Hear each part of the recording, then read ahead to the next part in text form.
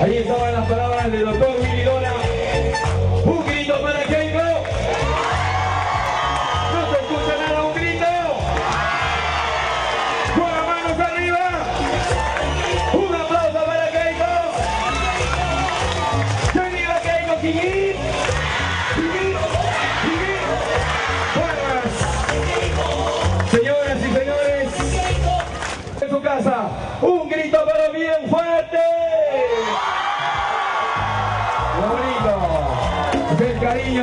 Y ahora sí, a continuación, según la segunda concentración, que nos faltan las losas deportivas. A ustedes, nadie les ha traído engañándoles y dándoles pasaje. Han venido porque tienen el corazón fujimorista y el corazón que Keiko va a ser un buen gobierno como presidente. Y ahora, la región de Ucayali, téngalo por seguro que ya están temblando los demás. Decían, pobrecito Carlos Mendoza, es un chivolo en política. Bien dicho, chivolo inteligente y aquí está la muestra del pueblo. Vamos a escuchar el mensaje, el saludo y el cariño con la música de Keiko a nuestro próximo presidente regional, Carlos Mendoza y yo.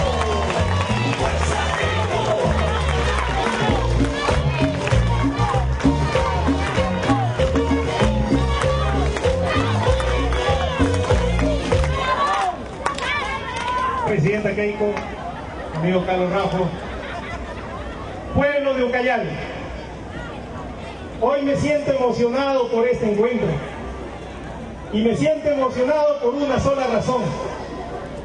Dos días en los medios de comunicación nos han dicho que aquí en Ucayali no existen fujimoristas. Y yo quiero saber,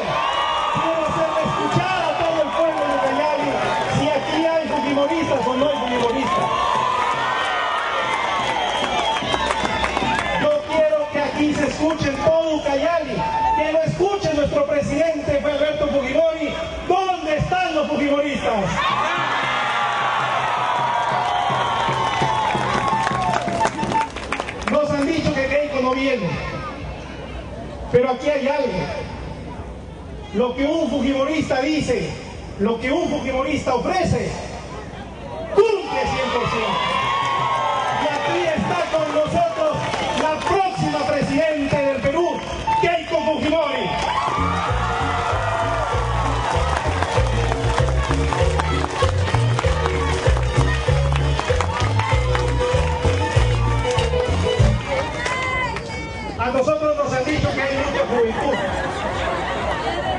que no tenemos la experiencia.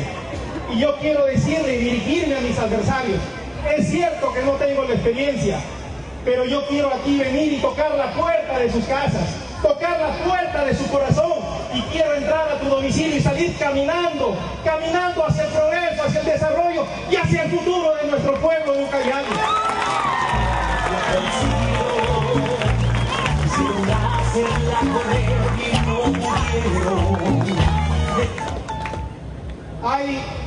A mí me da mucha alegría cuando yo veo a los hijos de los profesores, de los contadores, de los ingenieros que les han construido una buena aula. Pero me da mucha pena. Me da pena por los hijos de los excombatientes, por los hijos de los motocarristas, por los hijos de los hijos de los asentamientos humanos. Allá en Pucalpillo un niño no tiene un aula donde estudiar, estudia bajo un bandillo, bajo un mamey. Yo quiero que a partir de ahora esa historia cambie. Y la única manera de cambiar va a ser con el voto de cada uno de ustedes, porque aquí si nos encontramos el verdadero pueblo, la verdadera fuerza de Ucayali que son cada uno de ustedes, a las madres de familia, aquellas que han sido olvidadas y abandonadas. Aquí está entre ustedes la tercera edad, están los excombatientes de la guerra interna, la asociación de minusválidos, ya no van a ir a mendigar a una institución pública cuando alguien se nos enferma. Ya no van a recibir el maltrato en los hospitales porque no les quieren atender. Yo aquí quiero comprometerme con la próxima presidenta porque un gobierno regional nuestro va a crear el fondo de indigencia regional para atender en la salud de cada uno de los hijos de Ucayali.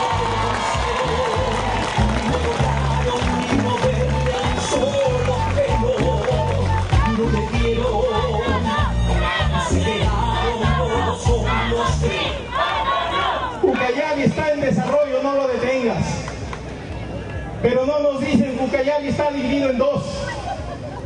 El Ucayali de los poderosos, de los grandes empresarios. Y el Ucayali aquí con ustedes, el verdadero pueblo, el marginado. Eso no es desarrollo.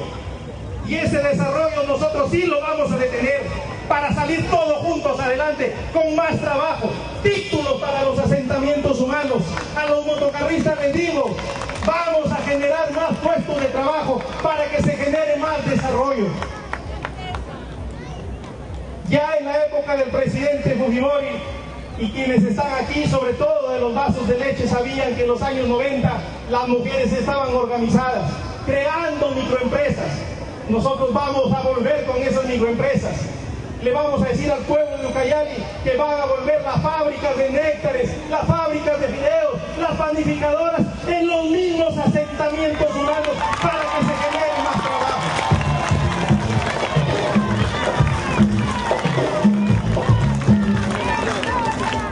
Mis amigos, las víctimas del 9 de febrero, aquel fatídico día del 9 de febrero del año 89, les han ofrecido que van a indemnizarle de su propio bolsillo y lo único que han hecho es romper las esperanzas de aquellas humildes familias. Pero aquí hay alguien que va a sacar la cara por ustedes. A mí me han preguntado, el ingeniero Mendoza no sabe por qué se mete en política. Y es cierto, yo no sé por qué me he metido en política. De repente estoy luchando con grandes, poderosos económicos. Las propagandas nos engañan, pero ese no es propaganda. Yo he venido aquí a decirle al pueblo calerino que de repente no sabemos en el futuro a dónde vamos a llegar, pero estamos aquí con cuerpo y alma para entregar toda nuestra vida por la región Ucayali y por los más pobres de Ucayali.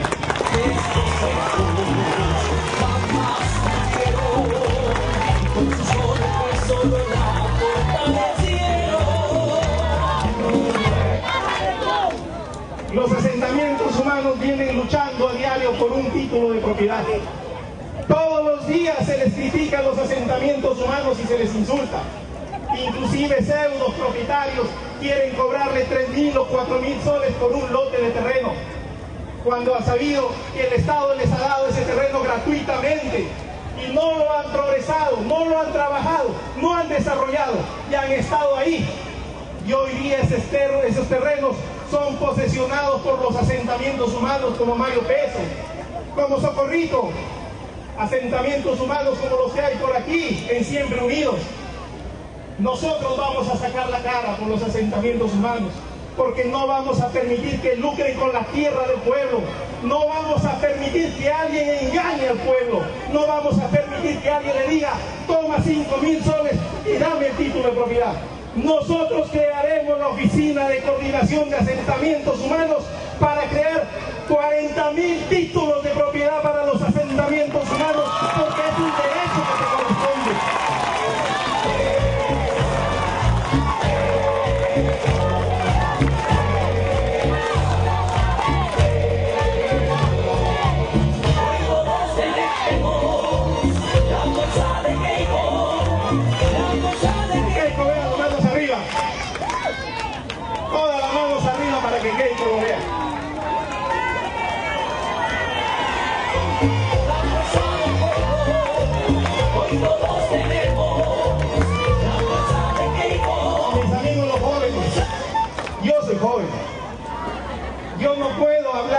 de los jóvenes porque aquí estamos.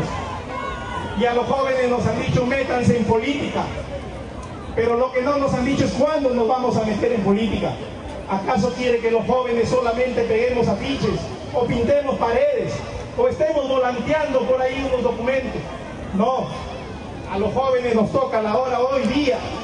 Y aquí estoy yo para sacar cara por esa juventud, para sacar cara por los jóvenes, por las señoritas, porque ellos son no el futuro, son el presente de nuestra región Uncayali. Y por ellos, por la juventud, vamos a crear en la oficina del gobierno regional el programa Joven Chamba para darle trabajo a los 10.000 jóvenes que están saliendo de los tecnológicos y de las universidades y que no tienen que hacer cuando salen de ahí. Queremos darle esa oportunidad a los jóvenes. Queremos decirle al joven, aquí estamos nosotros te entrego mi mano para caminar juntos y vamos caminando hacia el desarrollo de la región Cayali. Porque la juventud, como repito, no es el presente, no es el futuro, es la vida de la región Ucayali.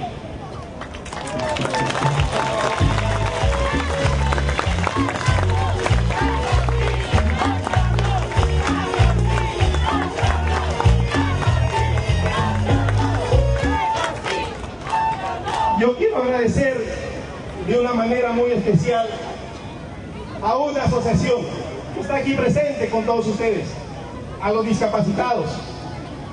Mi disculpa a los discapacitados si algún candidato les ha maltratado. Nosotros venimos aquí a extenderte la mano con el corazón y a decirte que vamos a velar por los discapacitados. Yo quiero, amigos, extenderte mi mano Vamos, ábreme la puerta de tu corazón y empecemos hoy día a caminar juntos, a demostrarle al pueblo cayalino, a nuestros adversarios, a decirle que ya no necesitamos sangre, que ya no necesitamos huelgas, ya no necesitamos paros, necesitamos más trabajo, necesitamos paz, necesitamos desarrollo para nuestra región Ucayali. Yo te invito, te invito a caminar, andemos juntos de la mano. Este 3 de octubre te invito a marcar la la K de Keiko, la K del pueblo, la K de Ucayali que va a salir adelante a luchar por los desarrollos del pueblo. Te invitamos y salgamos adelante juntos. Demostremos que aquí estamos los fujimoristas y que estos son los candidatos del fujimorismo. Que aquí estaremos para sacar cara con la región Ucayali.